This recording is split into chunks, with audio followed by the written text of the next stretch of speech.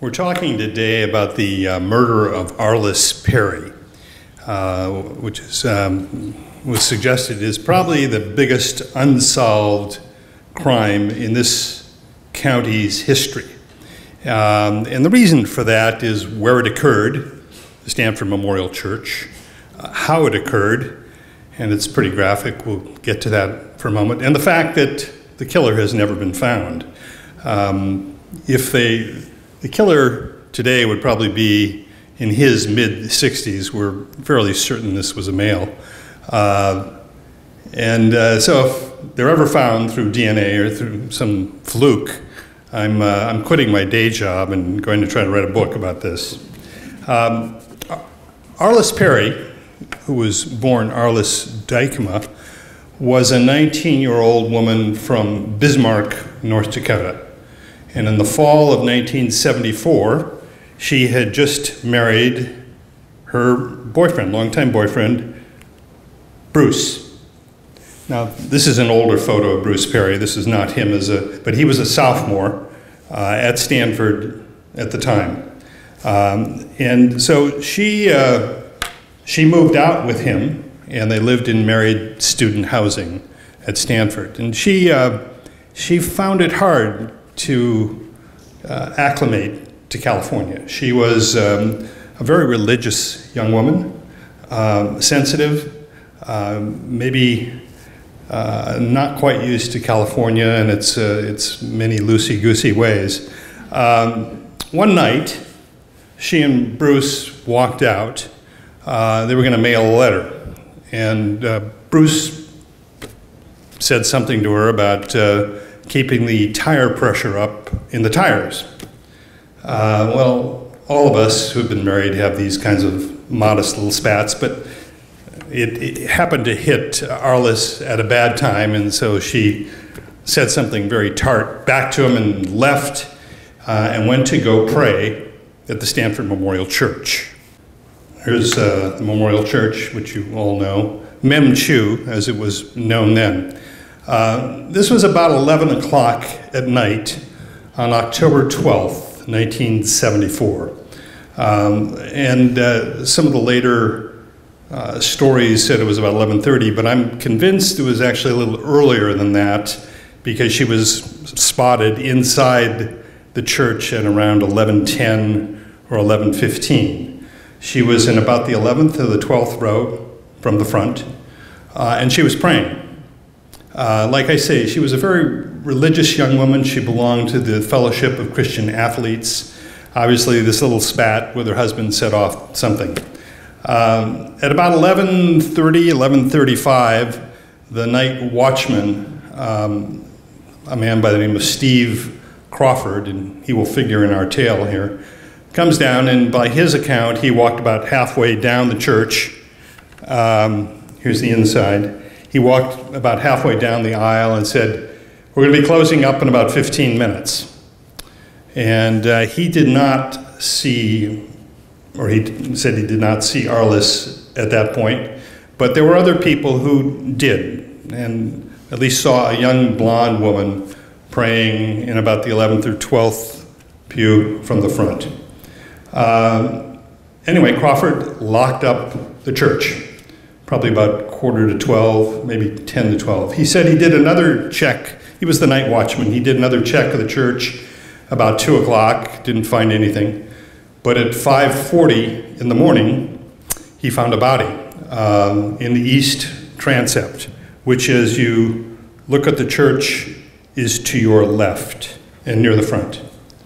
Um, it was partially covered by a pew uh, and it was laid out in really grotesque fashion. And I need to give anybody a warning here. Um, this is pretty graphic stuff. Uh, if you don't want to hear it, you can cover your ears, but uh, it is crucial to this case. So let me just describe what it looked like. Um, Arlis was spread eagled on her back. Her head sort of lolled, lolled a little to the left. Uh, her right arm was sort of palm down and underneath her waist. Um, she was naked from the waist down. Uh, her sweater had been pulled up and her jacket had been opened, and a um, large altar candle had been shoved up her vagina. Another altar candle had been stuck between her breasts with so much force that it broke her bra straps.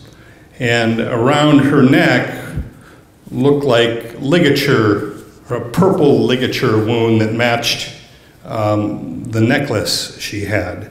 She had a wooden kind of bead necklace, and the, the, um, the wounds on the neck seemed to look like somebody perhaps had grabbed the necklace and tried to choke her with it. She was dead, uh, obviously, and uh, the first thing that um, Crawford did was he called it in, and it's a very strange way to report it, but he said, Hey, we've got a stiff here. Um, so finally, the sheriff's investigators show up and they begin looking at this, and uh, this kind of thing did not happen very often. I mean, almost never. Uh, uh, laid out in a sort of almost ritual fashion inside a church. Um, and they quickly began to sort of work on the theory that this was a, uh, a random intruder, somebody maybe who had followed her on campus, followed her into the church, waited till it closed, and then uh, maybe choked her. Uh, those were all the opening kind of possibilities. Um, what they didn't know until they actually did an autopsy of her body was that she died from an ice pick to the brain. The ice pick um, was shoved behind her left ear up at about a 45 degree angle into the brain, and that is what killed her. Whatever the, the ligature wound was on her neck was not the fatal thing, it was the ice pick to the brain. And the killer had broken off the handle. That's one reason why they didn't know it at first. It was simply the, the five inch uh, blade, if you will, of, of the ice pick left, left in her head. Well, obviously, in, in a case like this, there, there are two suspects immediately, and the cops had to, the sheriff's investigators had to eliminate those. One was her, her husband, um, and the second was uh, Steve Crawford. And uh, with her husband, it was really very easy. He was, uh, he was completely distraught. He took a lie detector test and passed it. And later on, he even gave them um, DNA. Uh, Arlis was not raped, but there was a pillow found near the body where there was some semen. And it was theorized that perhaps the killer, after he had laid her out in this ritual fashion, had, had masturbated. Um, but this was in the era before DNA. So all they were really able to tell is that the semen matched a type O blood type, which of course is what 40% of, of people. Uh, so that did not help them a lot. Um, and over the years, that pillow has been cut numerous times, so often that um, if they ever do match it with DNA, uh, probably a defense attorney is going to have a a good argument about them mishandling the chain of evidence, which you've heard before. I'm certain if you've followed crime. Anyway, um, they pretty soon figured out it was not the husband, and they also figured out it was probably not Steve Crawford for all his, his weirdness. Um, he was able to say that he had been around campus checking other places that night. Uh, he was not completely eliminated, but my information is that they finally, I think, have gotten some DNA from him and it, it does not match. Um, Steve, we'll come back to Steve Crawford for a minute though, uh, because he was a he was a strange guy, and, and maybe you can't completely subtract him from the story. Anyway, the, the sheriff's um, deputies began operating on the idea that this was a, a random intruder who had followed her, but there were a couple of strange things about this case. One is that on Friday, October 11th, which is one day before the killing, um, she was uh, uh, maybe accosted is too strong a word, but uh, a young man came into the law firm where she was working. It was uh, Valentine and Klein and Spieth, I think, um, the Palo Alto law firm where she was working. And um, they went into the conference room and somebody saw them. They were having a kind of a heated uh, argument, I guess you might say. Um, but nobody got a really good description of this young man, only that he was about 5'10, medium build, sandy colored hair. Uh, and, you know, again, that fits probably 40% of, of folks. There was one other strange thing. Um, her husband's name was Bruce Duncan Perry. Uh, and there was another Bruce Duncan Perry li listed at Stanford by the telephone company during the first uh, few weeks of the semester of 1974. Um, after her killing, the second Bruce Perry disappeared, and the telephone company has no records of where he went to. Uh, Arlis actually, for some reason, found out that there was a second Bruce Duncan Perry and mentioned to her husband how, how strange this was. It may have nothing to do with the killing, but on the other hand, it's, it's one of those things you, you have to look at. In any case, the sheriff's deputies uh, threw the net very wide here. Uh, they even tried to find out where Ted Bundy was at the moment Arlis Perry was killed, and, and they actually tracked it down. He was uh, buying gas in Utah at the moment she was killed, so he could be uh, eliminated as a, as a possibility. They looked at a man who had um, committed uh, an ice pick killing, or excuse me, a, a candle violation killing back in 1965, uh, and they were pretty sure that it was, it was not him. Um, but maybe, maybe the strangest thing of all was uh, that a, an investigative reporter from Long Island by the name of Maury Terry did a story, or actually a book, that tried to link um, Arlis Perry with the son of Sam, David Berkowitz. Here's his book, The Ultimate Evil. Uh, and Terry's whole thesis was that uh, Arlis uh, ran with uh, various cult figures in Bismarck, North Dakota, North Dakota, that one of these people had followed her out to Stanford and uh, at one point, um, the son of Sam, Berkowitz, did write a letter to investigators saying that he knew something about the killing. Uh, they went and they interviewed him, and they were convinced that he was simply playing them along. Uh, I don't think the son of Sam had much to do with this. Uh, my two cents here uh, is that, well, back up for a second several years ago, I was interested in trying to do a longer piece on this, and I went to uh, one of the really the best homicide investigators in the county, a guy who used to work for um, San Jose Police named Mike Schembri. And Schembri, at one point, although it was not his case, this is a sheriff's case, had taken a look at the file, and he said, the, uh, the whole random intruder idea is just flat wrong. Uh, and the, the key thing here to remember is that it took the killer a while to lay out Arlis's body, uh, to use the candles to masturbate, if that's what he was doing. All this took a good half hour, 45 minutes. It needed to be somebody who knew the schedule of the church, somebody who was familiar with how the church operated, which of course pointed maybe to an insider or to somebody just who went to the church quite often. Um, I, I tend to think this is right. There's also two other things. One is where this occurred. I mean, if this were somebody who had a, a grudge against Arlis, um, it might have occurred almost anywhere. Uh, that it occurred inside the church, I think, tells you something um, maybe about the killer.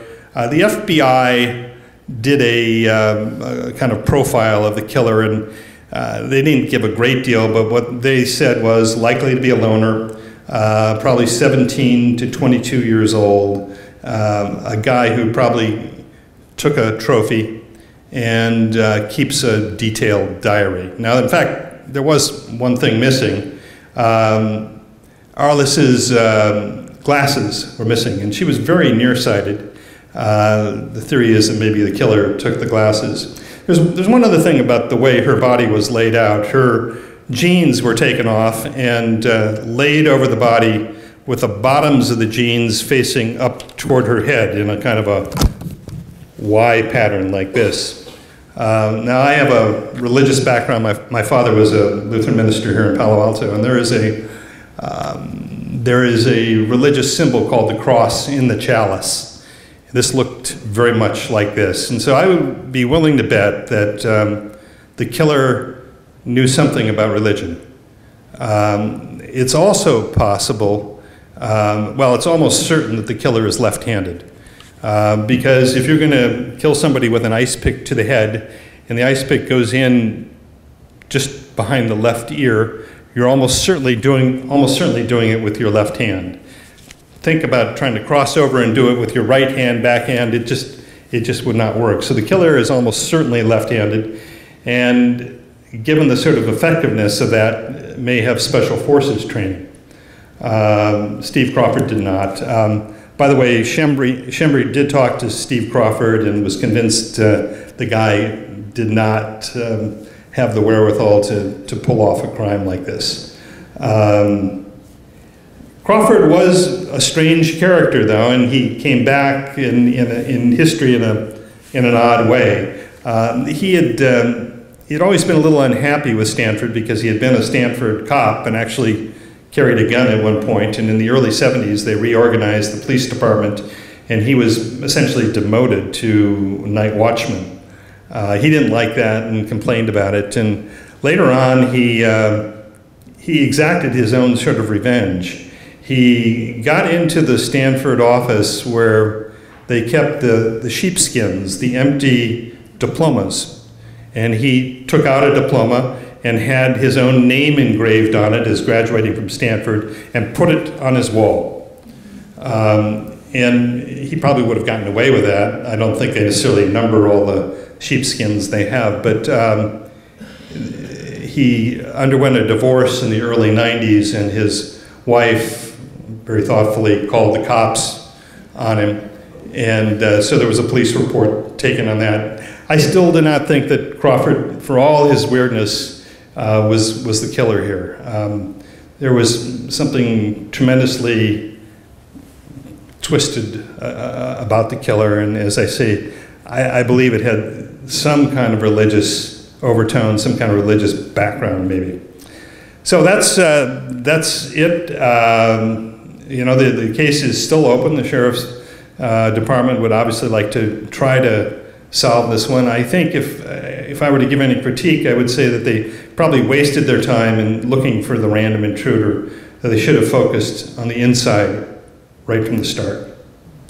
But that's hindsight. Thanks.